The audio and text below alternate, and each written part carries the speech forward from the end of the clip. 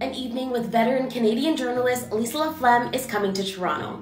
The former CTV News anchor is sitting down for a personal conversation in front of a live audience to speak about her career journey and what she plans to do next. LaFlamme was fired from her position as chief anchor and senior editor at CTV National News last August. Her sudden departure sparked outrage amongst viewers and fellow journalists and made headlines around the world, especially when allegations surfaced that CTV's parent company, Bell Media, let LaFlamme go because of her gray hair. Dress for Success, an organization helping women overcome gender based challenges in their personal and professional journey, is hosting the event. Tickets are still available and it all goes down on January 19th at the Elgin and Winter Garden Theatre Center.